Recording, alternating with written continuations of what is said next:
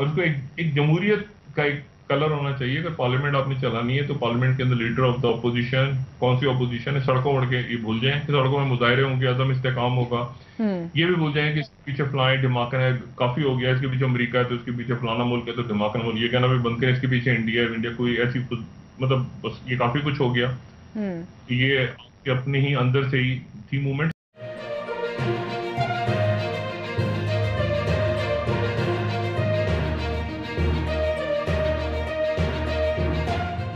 आज इमरान खान साहब ने क्या बात की इमरान खान साहब ने कहा कि कश्मीर का इशू जो है वो इंडिया को फैल करनी होगी यानी हमारा भी जो थोड़ा सा इंडिया के बारे में था हमने भी अपना एक क्या कहना चाहिए दर्जा हरारत कम किया है उनकी तरफ़ से भी कम हो गया हम्म। अच्छा अब ये जो जमहूरियत का इशू है ये बाइडन साहब के लिए बड़ा प्रायोरिटी है बहुत प्रायोरिटी है कि जमहूरी कि हमने दुनिया को कि चीन के खिलाफ अगर लड़ना है हम्म। मैं इस बात को बिल्कुल आपको वाजे तौर पर बताऊँ कि मुसलमानों के खिलाफ वारंट टेरर सरकारी या गैर सरकारी तौर पर खत्म हो गई है। ठीक है ना? अभी उनने तो अभी खबर आई है कि मुसलमान साढ़े भाई हैं। ठीक है? क्योंकि इशू खड़ा हो गया अब चाइना का। और चाइना के खिलाफ चूँकि इशू खड़ा हो गया है, वहाँ पे मुसलमानों के साथ क्या हो रहा है, ये क्या हो रहा है, वो कहते तो आने वाले दिनों में आपको दुनिया में फिर मुसलमान जो है वो अमेरिका के पास नज़र आएँगे और मध्य मुकाबले चीन नज़र आएगा। और चीन के अंदर जमहूरी इकदार नज़र आएँगी। तो वो खत्म हो गया इशू और जमहूरी इकदार की बात कर रहे होगा अमेरिका दोबारा कि जमहूरियत होनी चाहिए ऐसा होना चाहिए मतलब जो भी होंगे लेकिन जमहूरियत के ऊपर क्योंकि चाइना के अगेंस्ट जो सबसे इंपॉर्टेंट बात है वो ये कि हांगकांग में क्या हो रहा है जी वहाँ पे जमहूरियत नहीं है वन पार्टी सिस्टम है वगैरह वगैरह अब उसमें इस पूरी सूरत हाल के अंदर आप जरा अंदाज़ा लगाएँ कि अचानक जनाब और क्या होता है और क्या हो रहा है और ये हो रहा है कि जलम खलीजा मॉस्को पहुँच गए हम्म। और कल में खलीजा भी पहुँच गए और हमारा डेलीगेशन भी पहुँच गया और अब्दुल्ला अब्दुल्ला भी पहुँच गया कल वहाँ पे मॉस्को में टॉक्स हो रही हैं और अफगान पीस प्रोसेस आगे बढ़ रहा है। पाकिस्तान से कहा गया जैसे पाकिस्तान से कि जो भी सेटअप है इसका एक जमहूरी इसका एक जमहूरी शक्ल आप लेकर आ जाए। हम्म। वो कहाँ से कहा गया है वो मेरी तरफ़ से कहा गया ऐसे समझ लें आप।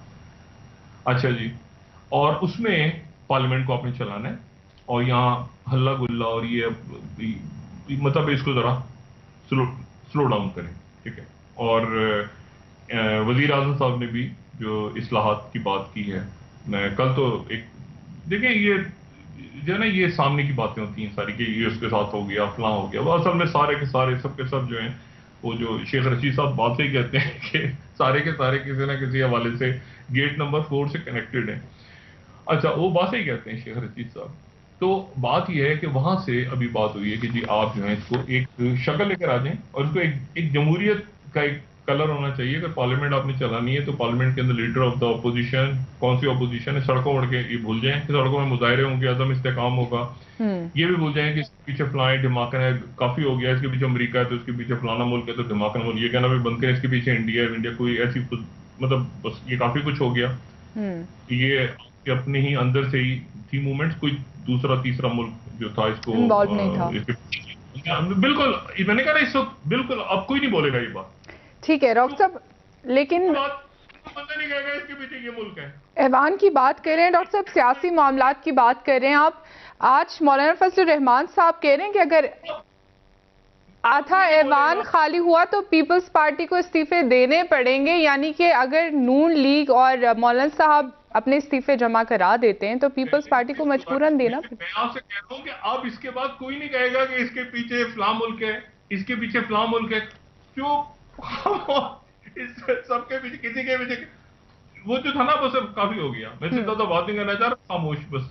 ठीक है इसके पीछे दो मुल्क थे इसके पीछे ये था इसके पीछे मतलब सब खामोश। वो फसाद चाह रहे हैं वो ये चाह रहे हैं वो धमाके करवा बस खामोशी से सन्नाटे से खामोशी से।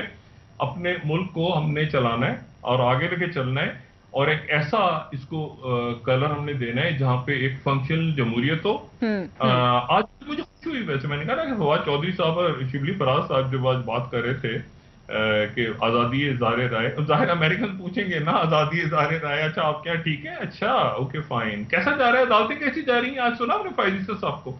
तो फाइजी साहब के पीछे कौन है बाय द वे आपको क्या लग रहा है? उनके पीछे ये चल रहा था ना सोशल मीडिया दाएँ बाएँ आगे पीछे उनके पीछे नवाज़ शरीफ उनके पीछे। फाइज के पीछे कौन है? कौन है फाइज साहब के पीछे? अब कोई नहीं बोलेगा। हम्म। बात यह है बात यह है कि जो स्टेब्लिशमेंट्स होती हैं बड़ी फ्लेक्सिबल होती हैं मुल्कों की। बड़ी फ्लेक्सिबल होती हैं। और वो हमेशा इस्टेब्लिशमेंट्स के पास ऑप्शंस होते हैं कि ये ऐसे नहीं ऐसे ऐसे नहीं तो ऐसे ऐसे वो तरीके से। ये पॉलिटिशियंस और हुक्मरानों का काम है कि वो उसको एक कलर दे के रखें। ठीक है, उसको कलर दें कि यहाँ फंक्शनल डेमोक्रेसी काम कर रही है। इंतबी सलाह की हुकूमत की तरफ़ से बहुत ज़्यादा बात नहीं हुई आज।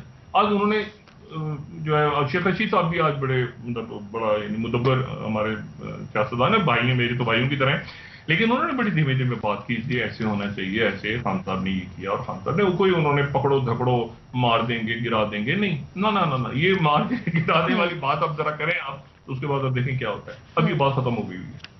तो बात सर ये है कि इसको एक नॉर्मलाइज करने के लिए खुल के बात कर लेते हैं खुल के बातें करते हैं कि ज़ाहिर है भारतीय इंडिया को भी कहा गया है मोदी को कहा गया है कि जी आप इसको ठीक करें मामला को हम नहीं चल सकते।